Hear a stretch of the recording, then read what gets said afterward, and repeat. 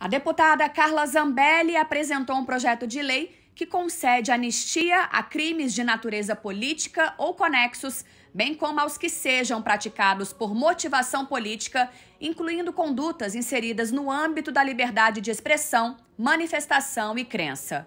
A anistia valerá para atos praticados entre 1 de janeiro de 2019 a 21 de abril de 2022.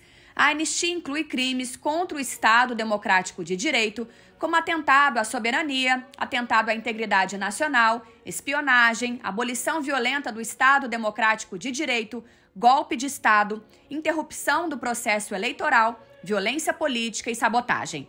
Na justificativa, Zambelli argumenta que a proposta visa restabelecer a independência do Congresso Nacional, que teria sofrido interferências do Poder Judiciário a exemplo do que aconteceu com o deputado Daniel Silveira. A proposta assegura os direitos políticos de quem praticou os atos anistiados, incluindo a manutenção de mandato parlamentar e a extinção de todos os efeitos decorrentes das condutas assim imputadas, sejam cíveis ou penais.